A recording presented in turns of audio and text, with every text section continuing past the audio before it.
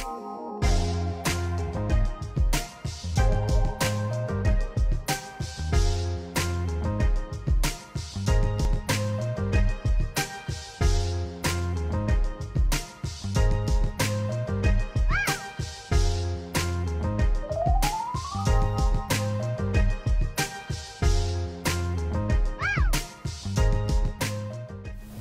तो चलिए, आज हम, मैं आप लोगों के साथ शेयर कर रही हूँ अपने किचन की स्पेशल जुकीनी की सब्ज़ी, जो कि बेसन वाली बनाती हूँ मैं।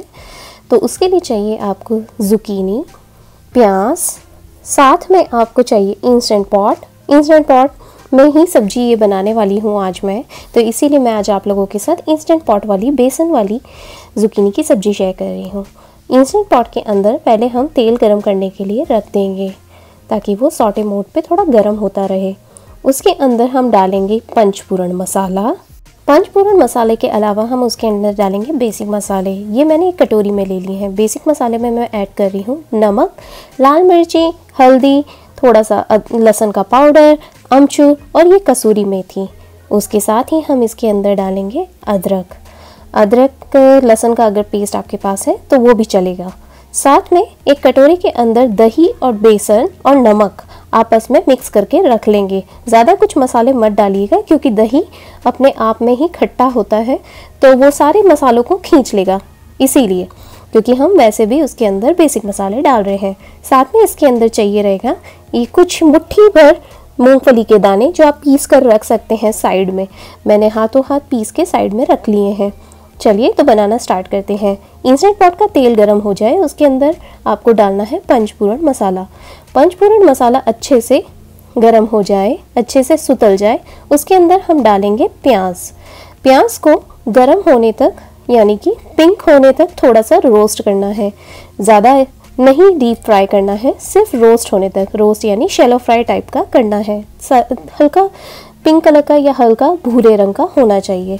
बस प्याज हो जाए, उसके बाद हम इसके अंदर डालेंगे अदरक का पेस्ट जो कि अदरक खींच के रखी है। अदरक आप ग्रेटेड भी डाल सकते हैं पेस्ट नुमा भी डाल सकते हैं। अदरक की क्वांटिटी थोड़ी कम रखिएगा, क्योंकि अदरक अपने आप में बहुत तीखा होता है। गरम मसाला डालने की ज़रूरत ही नहीं पड़ती है। ये नेचुरल होता है, चाहे तो आप बाज़ार वाला भी स्टोर मेड भी ले सकते हैं, जो कि अदरक लहसुन का पेस्ट आता है।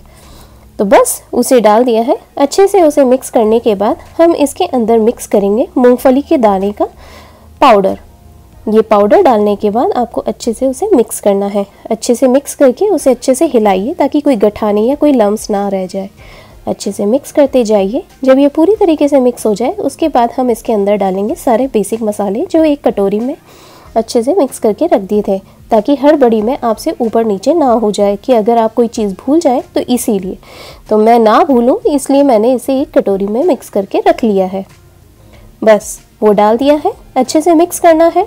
अच्छे से तेल वगैरह पी जाए, सारे मसाले अच्छे से आपस में मिक्स हो जाए। उसके बाद हम इस अंदर डालेंगे जुकीनी जो कि कटी हुई थी। मैंने छोटे और मीडियम साइज़ के इसके अंदर कटिंग्स डाले हैं। बड़े बड़े नहीं डाले हैं। बड़े डालेंगे तो उन्हें पकने में टाइम लगता है। इसलिए मैंने स्मॉल लंबे, थोड़े से मीडियम टाइप के इसमें जुकीनी काट के रख ली थी और उसे डाल दिया है।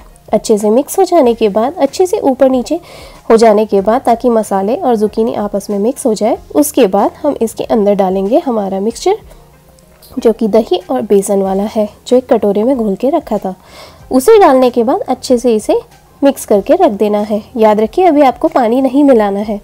पानी तब तक नहीं मिलाना है जब तक ये अच्छे से सूखने ना लग जाए। या नीचे अगर थोड़ा सा लगेगा बर्तन के ऊपर तो आपको पता पड़ जाएगा कि इसके अंदर पानी नहीं मिलाना है।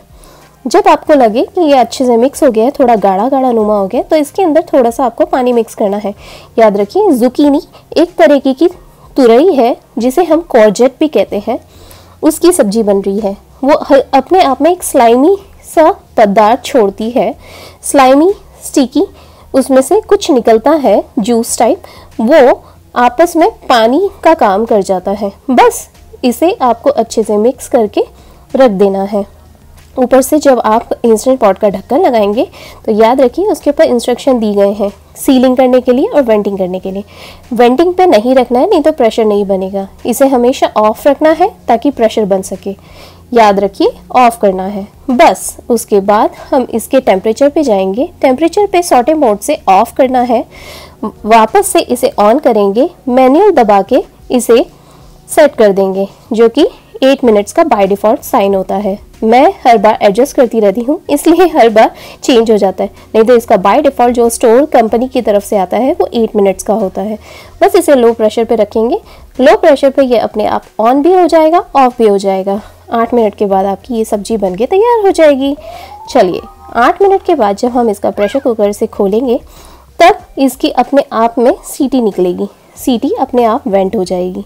आपको कुछ करने की ज़रूरत नहीं है। अगर एक्स्ट्रा सीटी हो तो उसे वेंटिंग पे रख के प्रेशर ऑन कर दीजिए।